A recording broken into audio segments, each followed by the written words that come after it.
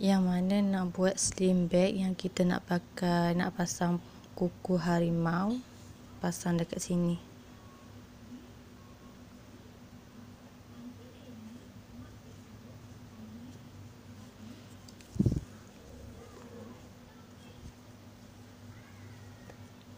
Kalau boleh dekat belah dalam ni lapiklah dengan tape ke ataupun everfoam ni everfoam supaya nak bagi kita nak bagi dia kukuh.